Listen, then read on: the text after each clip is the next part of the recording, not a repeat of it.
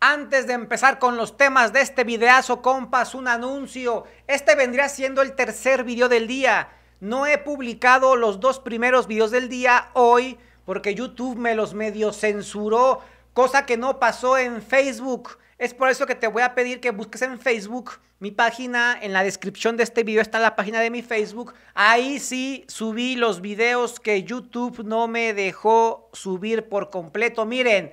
Andaba de parranda el padrecillo. Ese video me lo censuró YouTube. Está en Facebook. Fue asqueroso montaje, confirma Batres. Ese video no lo he subido a YouTube. Como pueden ver, miren, está oculto porque tiene monetización limitada. Si los quieres ver ya, ve a la página de Facebook que está en la descripción, maldita sea, para que veas mis videos. Es un aviso, compatriotas, porque YouTube me le está ahora sí que metiendo. Compatriotas.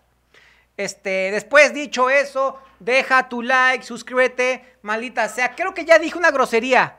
¿Sí, no? Dije, no, maldita sea no es grosería. Espero que no. Compatriotas, ¿de qué te voy a hablar ahora sí en este videazazo? No sé por qué esto lo vi, me dio risa. Alguien trató de dibujar a David Beckham y le salió Don Ramón, cabrón. Qué chingados. Estudió en una escuela de arte patito. ¿Qué pedo con esta persona que dibujó a... Trató de dibujar a Beckham y le salió Don Ramón. O sea que si dibuja a Don Ramón le sale David Beckham. Qué cosa más rara. Nada más te lo quería mostrar. Me encanta que el artista todavía lo firma, cabrón. Miren, ahí está la firma del artista. Yo hice este Don Ramón mutado con David Beckham. Maldita sea. Compatriotas. Este, estoy en mi mente con una frase que dice, no digas, no digas groserías, no digas groserías. Porque si no digo groserías en este video y aún así YouTube me lo marca en amarillo, medio monetizado, quiere decir que YouTube ya viene otra vez por mi culito, maldita sea, me va a censurar. Así que voy a tener cuidado. Uy, culito, ¿será grosería? No, no, no es grosería. Compatriotas, ¿de qué te voy a dar en este videazo? El presidente López Obrador en la mañana presumió derramó aceite. A mí me gusta decir que derrama otra cosa, pero es muy, eh, les digo que me censuran, no groserías. El presidente derramó aceite en la mañanera, presumió que tiene 60% de aprobación a un mes de que se acabe su gobierno. Bueno, a unos meses. Compatriotas, te voy a hablar de eso. Lo que dijo AMLO, puso una gráfica, eh, la del financiero. ¿Y eso qué es el financiero? Eh? Esos lacras asquerosos. Lacras asquerosos, ¿la grosería? Espero que no. Compatriotas, en este video también, te voy a hablar, comentar de forma rapidita. Esto me da un chingo de gusto, compatriotas. Los estudiantes del UNAM ya están preparándose para protestar en el campus y apoyar a Palestina. Malditas, esto es muy bueno. Te voy a hablar de estos dos temas. Te repito, este vendría siendo el tercer video, pero YouTube los marcó como medio monetizados. Si los, y estoy esperando a que me los ponga en verde monetizados. Si los quieres ver ya, ve a mi página de Facebook que está en la descripción de este video. Compatriotas, dice aquí, el presidente Cotton Head presumió una encuesta de El Financiero que lo coloca con un 60% de aprobación a un mes de la elección. Compatriotas, eh, dice que la llena de orgullo porque su principal apoyo es la gente, porque su principal apoyo es de la gente más pobre. Obviamente, compatriotas, este, yo veo que el comentario de, la, de las personas que no son pobres, ya no me gusta decir clase alta, clase media, clase media baja, clase baja, porque nadie se pone de acuerdo. Eh, eh, este, de, hecho, yo podría ser clase media aquí y podría ser de otra clase en otro país, porque en otro país tienen distintos métodos para medir qué tipo de clase eres. El asunto aquí, compa, es que ya me cansé de hablar de clases. Lo que sí es obvio es que hay clases con mucho dinero y hay otras clases con muy poquito dinero. Y entre esas clases con mucho dinero, asquerosamente mucho dinero, todo, y los que no tienen nada, hay un chingo de gente que tiene más o menos. Ah, pues compatriotas, el asunto es que la gente que tiene más o menos de dinero es la que piensa que votar por, por alguien es para resolverle su vida cuando esa persona no se da cuenta que la vida ya la tiene resuelta. Tienes tu casa, tienes buen empleo, tus hijos van a la escuela, todo está bien, vas de vacaciones. O sea, el país te está cumpliendo, cabrón. maldita sea. Es por eso que me caga que las clases disque medias sean las que más se quejen del gobierno porque no hay avances. Pendejo, pues si no eres pobre no vas a notar los avances. Si eres clase baja no vas a notar los avances. Este, si eres clase media que se vive relax, ¿qué? Nada más vives bombardeado viendo las mentiras de la tele. ¿Qué, ¿Qué quieres que haga el gobierno por el que vas a votar para que mejore tu vida? Ya estás bien, cabrón. Vives en una, sola en una zona chingona, hay agua potable, no se va la luz, eh, vives en un bonito fraccionamiento, estás ahorrando para poner un negocio y te quejas del pinche gobierno, hijo de tu pinche clase mediera madre. Maldita sea, olvidé que no debo de decir groserías, ya dije pinche. Bueno, pinche es el ayudante del cocinero. Les digo que si subo este video y también está en amarillo, maldita sea, quiere decir que YouTube ya vino por mi trasero. Compatriotas, esto es lo que dijo el presidente Cotton Head con respecto a que la mayoría de la gente aprueba al presidente López Obrador. Yo ya no soy pobre, afortunadamente, podrá decir que soy clase media baja. Y yo estoy conforme con lo que hace el gobierno en cuanto a mí. En cuanto a mí. Pero hay mucha gente, cabrón, que aún necesita justicia y hasta necesita lo básico, cabrón, agua, drenaje y, esas cositas, esos, esos detallitos. Es por eso que yo voto y seguiré votando por los partidos, por las personas que prioricen a la gente que no tiene nada. Yo estoy bien, yo que yo, yo, yo no importo, yo estoy bien, compa. Yo, pero lo que yo quiero es votar por gente que en realidad va a ayudar a la gente que está peor que como estaba uno. Escuchemos al presidente Cottonhead, deja tu like. Déjenme eh, presumirles, tirar un poco de aceite. AMLO tiene el derecho de tirar hasta su orina ahí en la mañanera, maldita sea. Sigamos viendo. Este, miren, hoy salieron dos encuestas de periódicos de México una de el financiero que no nos quieren mucho. Recordemos que el financiero recibió creo que dos millones de dólares, no, creo que más, cabrón, de gobiernos pasados priistas, panistas, compa.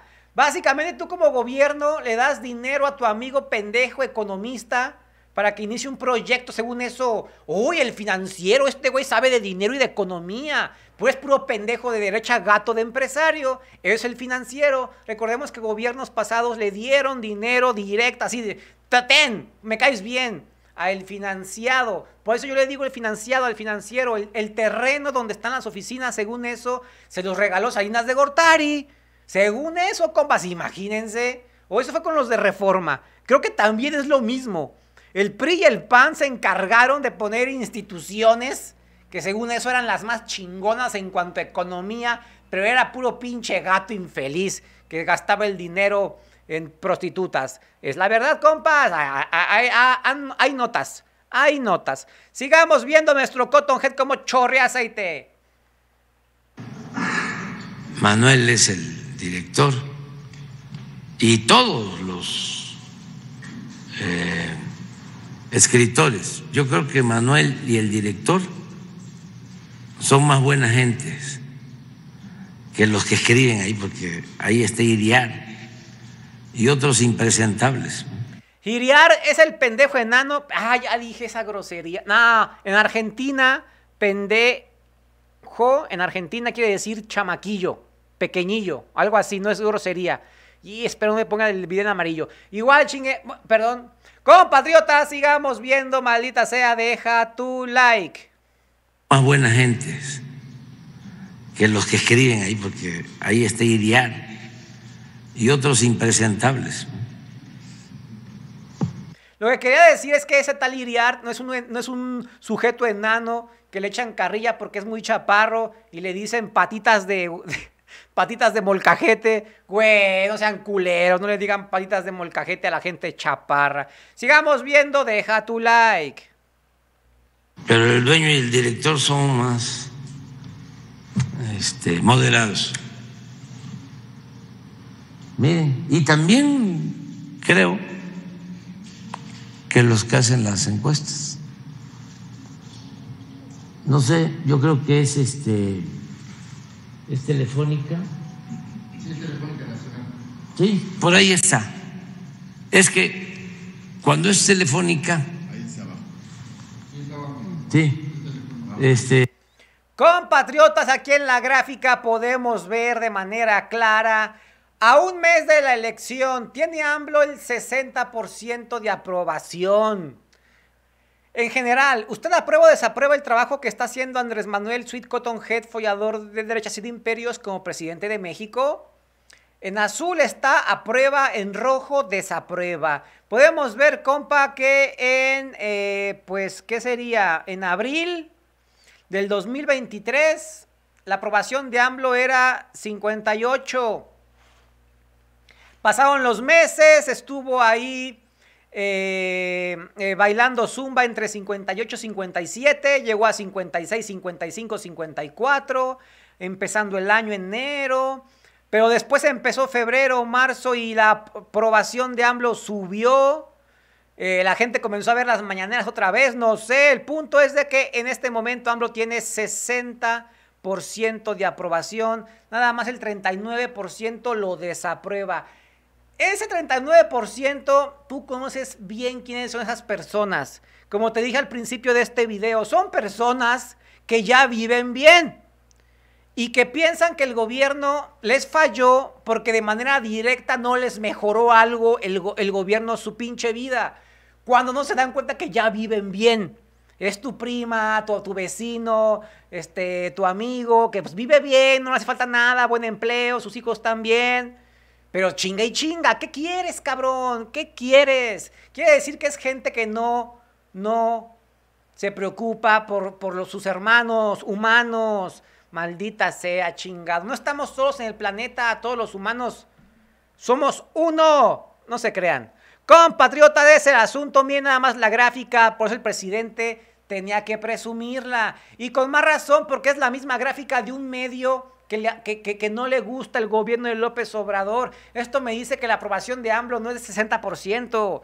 AMLO está arriba del 70% de aprobación, compatriotas. Si hacen un pinche censo general masivo, AMLO está en el 70-80 de aprobación. Nada más es un puño de gente muy, muy tarada que no entiende, compas, que la política se hizo para llevar justicia, maldita sea, a todos los pueblos y no hay justicia en un pueblo, si hay personas con hambre, con frío, si hay injusticias, es sencillo, no son estupideces lo que digo, maldita sea, es lógica básica, maldita sea. Cotton lo ha dicho mil veces.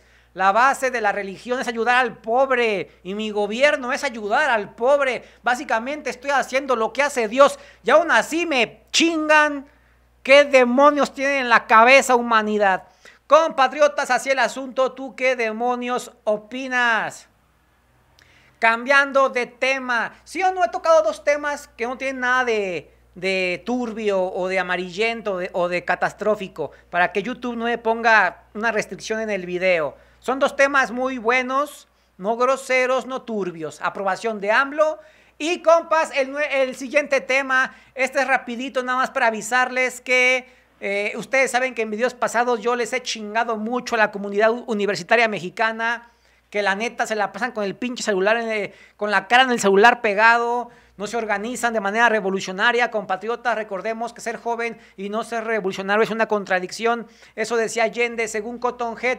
Y yo creo que es verdad, compas, los jóvenes son los que más deben de estar metidos en la política nacional y mundial, compas. Y es por esto que me da gusto que los fumamota de la UNAM, no todos, estoy encasillando, eso es malo, perdón.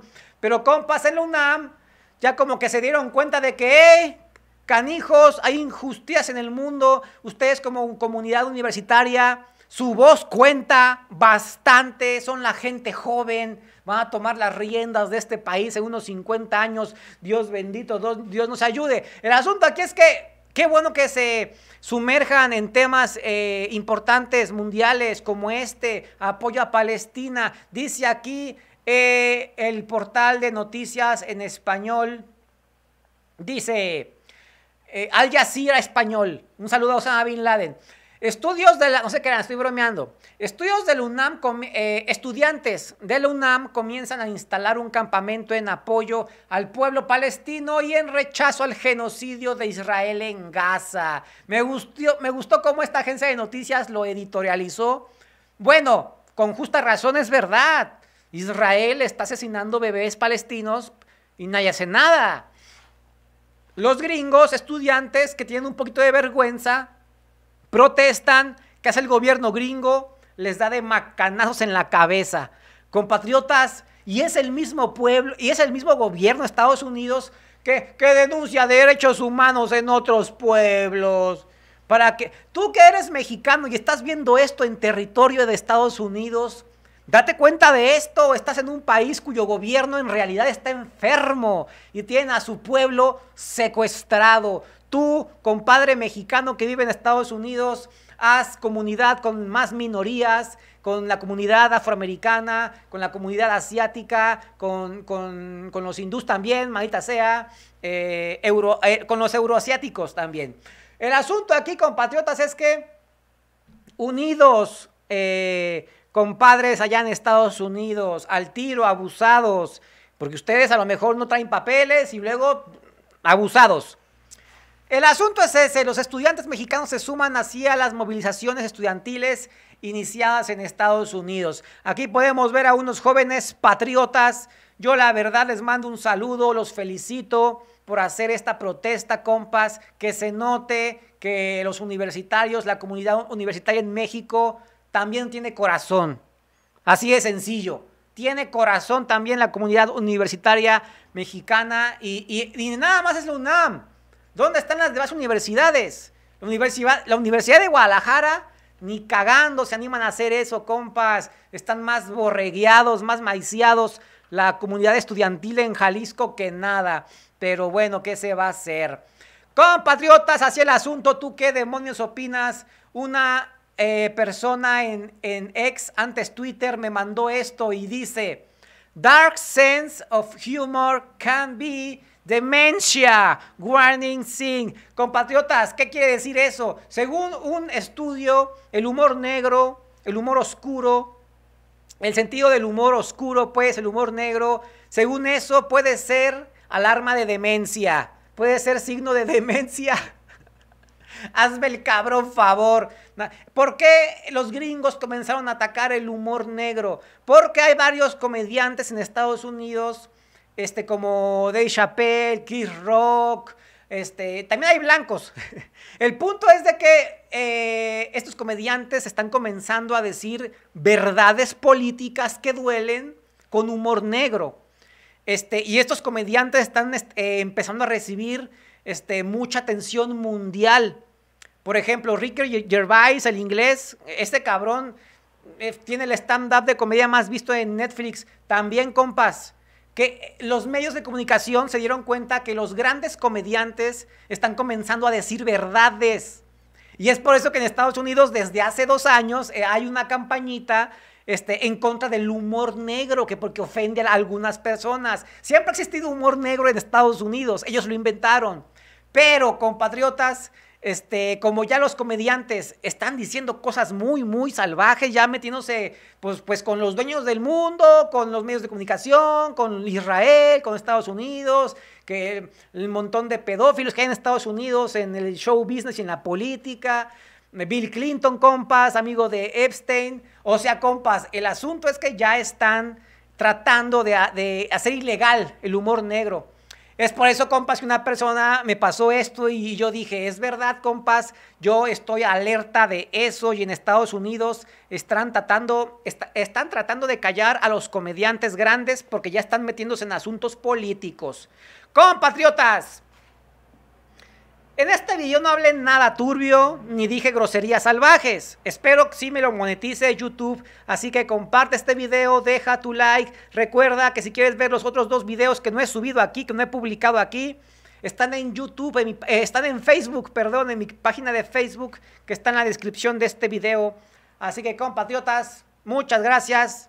Hagan paro, suscríbete, deja like, comenta también. Te mando un beso en el glúteo. Recuerda visitar México Inexplicable. Ya hay nuevos videos. Hoy a las 4 hubo un nuevo video de estreno y te lo perdiste. Ahora sí, pero siempre a la izquierda, con el pueblo. Adiós.